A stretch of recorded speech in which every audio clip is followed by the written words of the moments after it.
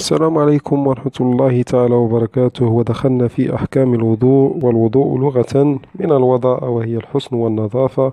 وفي الاصطلاح الشرعي الوضوء هو طهارة مائية تتعلق بأعضاء مخصوصة على وجه مخصوص. وهذه الأعضاء المخصوصة هي اليدين والرأس والقدمان مضمضة والاستنشاق والاستنثار بكيفية مخصوصة التي سنتذاكرها ونتعرف عليها بعون الله وقوته في هذا الباب. الوضوء له فرائض وسنن وفضائل وقد مر معنا هذه المصطلحات لكن لا بأس من أن نعيدها سريعا لأجل التذكير. فالفريضة أو الواجب أو الركن بمعنى واحد وهو ما لا بد من الإتيان به وإذا لم يؤت به فالعبادة تبطل بترك شيء من هذه الفرائض. أما السنن فهي في مرتبة أقل والفرائض في مرتبة أقل من السنن. والسنن والفضائل كلاهما مطلوب الإتيان به لكن طلبا غير جازم أي أن من ترك شيئا من هذه السنن لا تبطل العبادة. ونتعرف أولا على فرائض الوضوء وفرائض الوضوء سبعة. أولها النية وهي قصد القلب فعل العبادة أي أن هذا الذي قام ليغسل أعضاء الوضوء قد قام لأجل العبادة. ولم يقصد فقط لأجل التبرد أو غسل أو النظافة. هذه النية هي التي تميز بين العادات والعبادات وهذه النية تجب أن تكون في أول الوضوء والنية تكون لأجل رفع الحدث الأصغر بسبب انتقال الوضوء.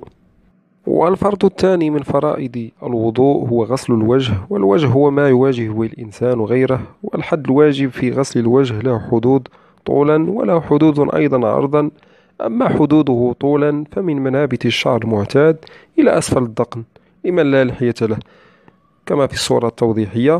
أما عرضه فمن وتد الأذن إلى وتد الأذن كما تشاهدون. حيث أن علماءنا المالكية قالوا إن البياض الذي فوق وتدي الأذن المتصل بالرأس من أعلاه لا يجب غسله بل مسحه لأنه من الرأس لا من الوجه. ومثله شعر الصدغين فإنه من الرأس لا من الوجه. والفرض الثالث من فرائض الوضوء هو غسل اليدين إلى المرفقين والمرفق عظم المفصل البارز في نهاية الذراع ويتعلق بهذا الفرض مباحث. ومن هذه المباحث غسل تكاميش الأنامل وغسل ما تحت الأظافر الطويلة التي تستر رؤوس الأنامل ويقولون إن وسخ الأظافر يعفى عنه إلا إذا تفاحش وكثر. ومن أركان الوضوء أيضا وهو الركن الرابع مسح الرأس أي مسح جميع الرأس لا يقدر لا بثلث ولا بربع كما في باقي المذاهب بل الواجب في مذهبنا المذهب من مالكي أن يمسح جميع الرأس سواء كان لرجل أو امرأة. قصر الشعر أو طول فيمسح جميع الرأس إلى منتهى. هذا هو الحد وحده يبتدئ من حد يعني حد مسح الرأس يبتدئ من منابت الشعر الرأس المعتادة من الأمام وينتهي إلى نقرة القفا من الخلف ويدخل في شعر ويدخل فيه أيضا شعر الصدغين كما سبق الإشارة والبياض الذي خلف فوق وتدي الأذنين وكذلك يدخل البياض الذي فوق الأذنين المتصل بالرأس. ومن أركان الوضوء وهو الركن الخامس غسل الرجلين مع الكعبين والكعبان هما العظمان البارزان في أسفل الرجل فوق القدم. ويجب عليه أن يغسل الشقوق التي في باطن القدم وظاهرها وإذا قطع محل الفرض كله سقط التكليف. ومن فرائض الوضوء أيضا وهو الفرض السادس وهو الدلك أي دلك الأعضاء وهو مرار اليد في العضو وهو فرض كتخليل الشعر وأصابع اليدين. ومن أركان الوضوء وهو الركن السابع الموالاة ويعبر عنه بالفور. وتعريف الموالاة هو أن المتوضئ يفترض عليه أن يغسل العضو قبل أن يجف العضو الذي قبله بحيث لا يصير مدة يجف فيها الأول عند اعتدال المكان والزمان والمزاج.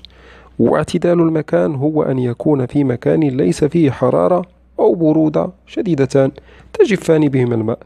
واعتدال الزمان أن يكون في فصل لا يترتب عليه جفاف الماء بحال غير معتاد. واعتدال المزاج هو لا يكون في طبيعة الشخص ما يوجب تجفيف الماء بسرعة. هذا وعلماؤنا المالكي يقولون إن الفور بين جميع الأعضاء سواء كان مغسولة أو ممسوحة كالرأس فإنه يجب أن ينتقل من مسح من مسح ماء إلى غسل الرجلين مثلا على الفور. تعتبر المسافة في جفافها كالمسافة التي يجف فيها العضو المغسول ثم إنه يشترط عندنا نحن المالكية شرطان الشرط الأول أن يكون المتوضئ ذاكرا فلو نسي غسل يديه قبل وجهه فإنه يصح ولكن إذا تذكر يلزمه أن يجدد نيته عند تكملة الوضوء لأن نيته الأولى بطلت بالنسيان. والشرط الثاني أن يكون عاجزا عن موالاة غير مفرط ومثال ذلك أن يحضر الماء الكافي للوضوء وهو معتقد أنه يكفيه ثم ظهرت عدم كفايته. فغسل به بعض أعضاء الوضوء كالوجه واليدين مثلا وفرغ الماء واحتاج إلى ماء آخر يكمل به وضوءه. فانتظر مسافة جفت فيها الأعضاء التي غسلها فإنه في هذه الحالة يسقط عنه الفور.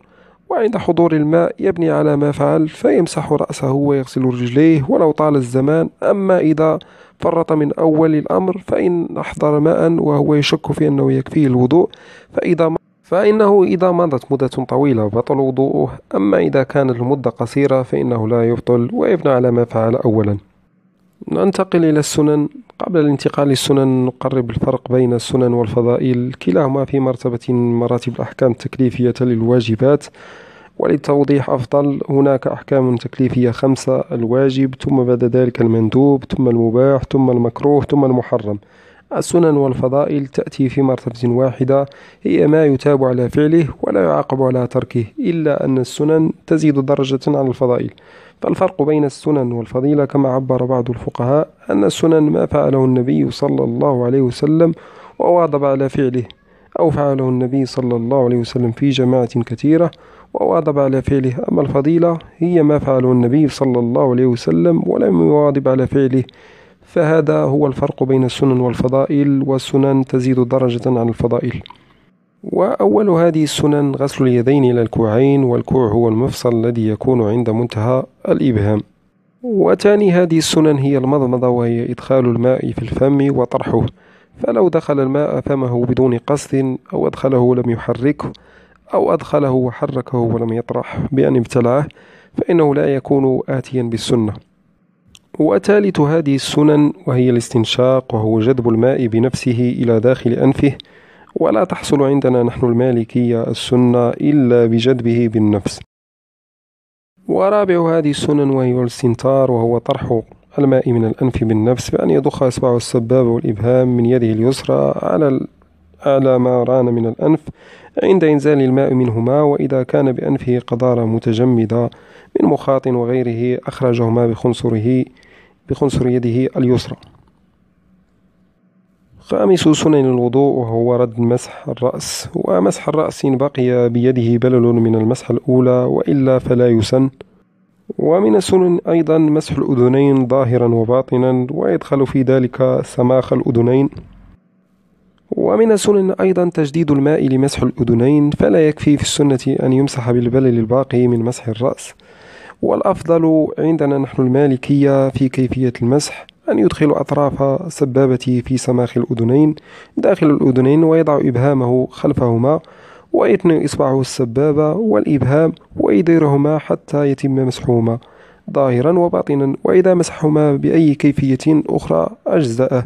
إنما المطلوب تعميمهما, بالمسح كلهما. ومن السنن أيضا ترتيب الفرائض فالترتيب بين أعضاء الوضوء بأن يقدم الوجه على اليدين واليدين على الرأس والرأس على الرجلين. ومن السنن أيضا تحريك خاتم الذي يصل الماء إلى ما تحته. ولنا نحن المالكية في هذا تفصيل حسن حيث أن هذا الخاتم إما أن يكون لبسه مباحا أو حراما أو مكروها فإن كان مباحا وأول الرجال ما كان فضة وكان وزنه لا يزيد عن درهمين كما سبق الإشارة في درس الفضة والذهب. وكان واحدا غير متعدد فإنه لا يجب تحريكه سواء كان ضيقا أو واسعا وسواء وصل الماء إلى ما تحته أو لم يصل. وهذا الحكم عام في الوضوء والغسل على أنه إن نزع بعد تمام وضوئه أو غسله فإنه يجب عليه غسل ما تحته إن كان ضيقا. أما إن كان هذا الخاتم حراما وهو ما اتخذ من ذهب أو من فضة تزيد على درهمين أو كان متعددا كأن لبس خاتمين أو أكثر فإن كان واسعا أجزأه تحريكه ولا يفترض عليه ذلك ما تحته بيده. بل يكتفي بذلك ما تحته بالخاتم نفسه. أما إن كان ضيقا فإنه يجب عليه نقله من محله حتى يتمكن من ذلك ما تحته من الماء. ومثل المحرم في ذلك الحكم الخاتم المكروه وهو ما كان من نحاس أو رصاص أو حديد. تعرفنا فيما مضى عن الفرق بين السنن والفضائل وكلاهما لا يعاقب المكلف على تركه إلا أن ثواب السنن أكثر وقد تقدم ذكر السنن فلنتعرف على الفضائل وأول هذه الفضائل أن يتوضأ في موضع طاهر فإن توضأ في مجرات المرحاض فإن وضوءه يصح مع الكراهة التنزيهية حتى ولو كان هذا المرحاض طاهرا ولم يستعمل. لأننا في مذهبنا المالكي نكره الوضوء في المحل المعد للنجاسة وإن لم يستعمل. ومن فضائل الوضوء أيضا التسمية في أوله بأن يقول بسم الله الرحمن الرحيم والسكوت عن الكلام غير ذكر الله تعالى إلا لحاجة. ومن فضائل الوضوء أيضا السواك أو السياك قبل الوضوء بنحو عود ويكفي الأصبع إن لم يوجد غيره ويكون قبل الوضوء ويندب الاستياك باليمنى وأن يبدأ بالجانب الأيمن عرضا في الأسنان وطولا في اللتة ولا ينبغي أن يزيد عن شبر. ولا يقبض عليه ويندب السواك للصلاة إذا كانت بعيدة عن السواك الأول كما يندب لقراءة القرآن وانتباه من نوم وتغيير فم بأكل أو شرب وغير ذلك. ومن فضائل الوضوء أيضا تيامن الإناء أي وضع الإناء المفتوح الذي يمكن الاغتراف منه عن يمينه والضيق الذي يصب منه الماء على يساره. ومن فضائل الوضوء أيضا الشفع والتثليث في الغسل الغسلة الثانية والثالثة في كل مغسول ولو الرجلين ولا تحسب الثانية إلا إذا عمت الأولى ولا الثالثة إلا إذا عمت الثانية. فإذا توقف التعميم على الثلاثة فكلها واحدة ويطالب ندبا بالثانية والثالثة. ومن فضائل الوضوء أيضا تقليل الماء مع الإحكام تقليل الماء الذي يستعمل في الأعضاء بحسب الإمكان. بحيث يسيل على جميل العضو ويعمه وإن لم يتقاطر عنه.